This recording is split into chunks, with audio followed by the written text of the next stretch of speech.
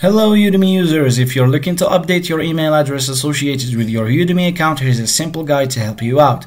First things first, log into your Udemy account using your current email address and password. Once you're logged in, navigate to your account settings. You can usually find this option by clicking on your profile picture or initials in the top right corner of the Udemy homepage. Within your account settings, look for the section related to your email address. It might be labeled as email or account information. Click on it to access your email settings. In the email settings section, you should see your current current email address displayed. Next to it, there should be an option to edit or change your email address. Click on this option.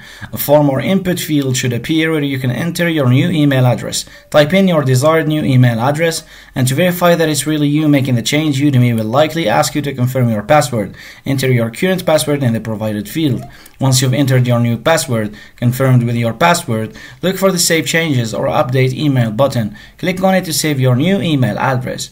After saving your changes, Udemy may send you a confirmation email to your new email address. Check your new email inbox and follow any instructions provided to confirm the change. And that's it, you've successfully changed your email address on Udemy. Remember to use your new email for future logins and communications with Udemy. If you encounter any issues or need further assistance, don't hesitate to reach out to Udemy support. And thanks, and don't forget to subscribe.